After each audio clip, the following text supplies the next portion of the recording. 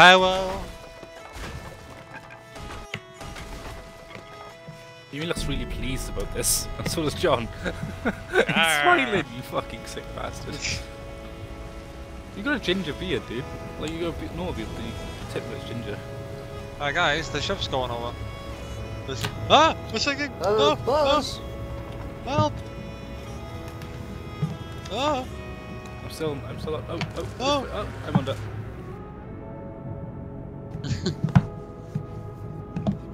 Lantern's back on. So I've been playing the Sea of Thieves scale test that has been recently going on by uh, Rareware in order to sort of, you know, test the servers in order to see if they can cope with a large amount of players playing the game. And uh, while this test isn't a fully indicative thing of the final product, it gives a sneak peek as to what can be expected. And honestly, I've been playing it, and uh, I've been stuck on it. I've been I've been playing it non-stop all day for the past, well, day. And the, the previous scale test they did about a week ago as well, I've been playing. And honestly, Sea of Thieves is looking up to be a really good game. Now, uh, I've been looking forward to this game for a very long time, and I've I've always been the kind of person who's been wanting more pirate-themed games to exist, because, let's face it, pirate-themed games are a bit of a genre that we don't really see, like, pretty much ever. The only other game that comes to mind is probably Assassin's Creed. Uh, what was it? Black Flag. Or maybe one of those text adventure games you'll see from back in the day. So, uh, this has been one I've been really anticipating for a long time. Plus, it's a chance for Rareware to prove themselves once again, because I think the last game that Rareware has created that I was really, really excited for was back in 2008 with Banjo-Kazooie Nuts and Bolts which uh, I know a lot of people didn't like. I, I have a lot more lighter opinions of that game than most, but you know, that was the very last game that I was really anticipated from Rareware, so it, it just feels nice to really anticipate a new game from them.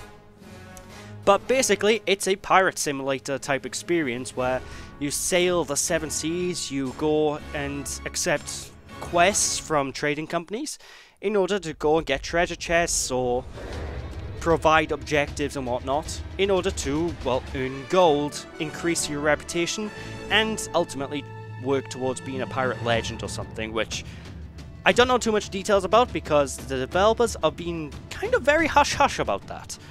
But in terms of the gameplay, I've not played a game like this. Ever.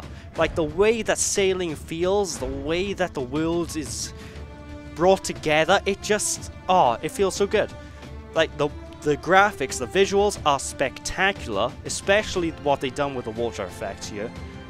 And this is kind of a weird game as well, because from the get-go, you'd probably think this would be pretty much only a cooperative experience, because, you know, it's it piracy, it's about having crews, and you have to work with your crews, and while this is true here, in, in fact, my favorite moments of the entire the entire scale tests so far have been me working with my friends to hunt down other people or just find loot and whatnot. It's been a hell of a good laugh. Um, it doesn't mean you can't play solo. In fact, uh, the game does offer a solo option, which is very manageable to do. Basically, in the scale test, there are two different types of boats you're able to uh, pilot.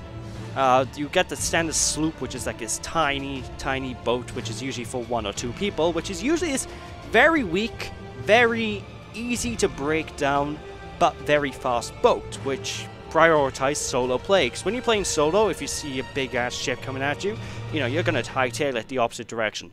It's it's yeah, that's the sane way of doing things. So, and then the second boat is of course a full-fledged galleon, which offers for offers gameplay for people of crews that have three players or four.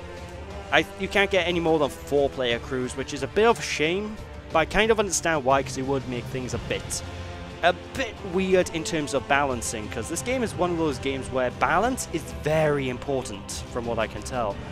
Like, they're not going to have any sort of items or weapons that will ultimately change the power flow of the game.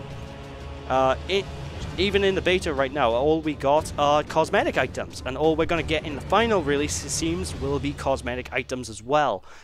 And honestly, a lot of people may not like this because it's a bit of a...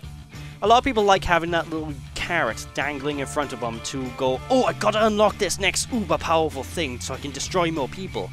But for me, that's never been an incentive for me to play online games. I play online games for the fun factor, and uh, getting the cosmetics and stuff are a bonus to just enjoying the game. And I think it's a really good approach to it. I've, I've, I basically love what the developers are doing with this game, which is great because it really does seem like the developers behind this team, like if you watch the videos of this, are very passionate and into this project. So that's awesome. That's really good. In fact, it, it, when uh, this game first got announced, I, I thought it was just Project Dream, which was a game that was going to be made for like the Super Nintendo many, many moons ago. Because I don't know, it's just a feeling I had. I mean, clearly it isn't Project Dream, it's something else entirely, but I, I, I don't know. I don't know. That's that's rambling anyway. It's, that's nothing to do with the game itself.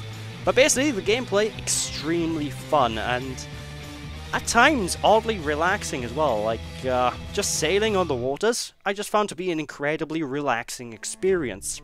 At least when playing solo. Now, when when you're actually playing with crews and stuff, what you'll find is uh, you're going to be working with teams of people. So you're going to be working with your friends or maybe random, so you can talk to using the in-game chat. In fact, we met one American fellow at one point who was quite friendly. Uh, he was playing on the Xbox One and I was playing on Windows 10, which is another good thing. I love the fact that it's crossplay.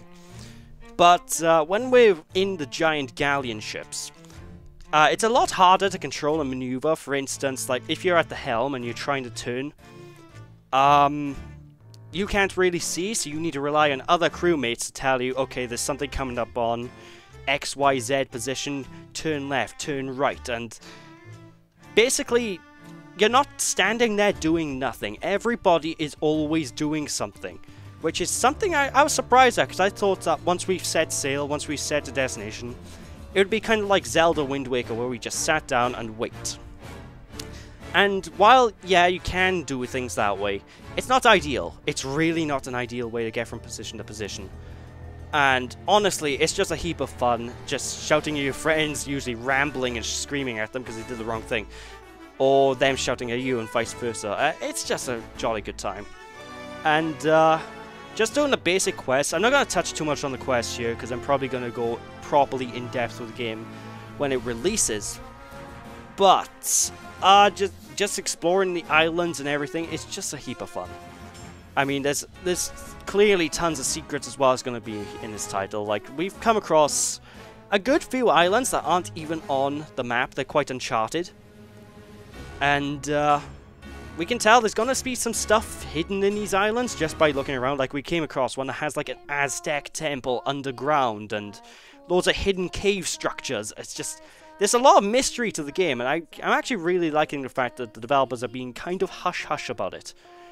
You know, they're giving us a bit of information, enough information to get excited, but not too much to give everything away. And, I don't know, I, I, I just have high hopes for this game, and this beta test uh, has basically sold me 100%. I am honestly expecting this to be a fantastic time.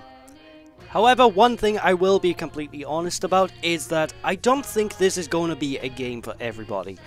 That's mainly fueled by the fact that out of the five of us that we were playing the beta on and off, um, two of us were really unsure about the game to the point that they they weren't sold. They basically did not like the look of it at all, and the third one of us was a bit more unsure about what the final product would be like. While uh, three of us are basically immediately gushing about the game, me included, going, oh my god, yay! So this is definitely a game where I think some people won't really enjoy it too much, because this is definitely not going to be everyone's cup of tea. Some people are not going to enjoy the sailing portions of this, which is the majority of the game, sailing from one island to another to another, or maybe hunting for shipwrecks and whatnot. Some people don't like that, some people would prefer a more action-oriented game. And even then, some people may not even like the co-op... Co my words are failing me here. Some people may not like the co... co oh my god. Cooperative, there we go, aspects. So, uh, yeah, this is. This is definitely not a game for everyone from what I can tell, but... I definitely am sold by it, and I am really mu very much looking forward to the final release. But with that, thank you all for watching. hope uh, this gives you a little idea to look at the game, I suppose.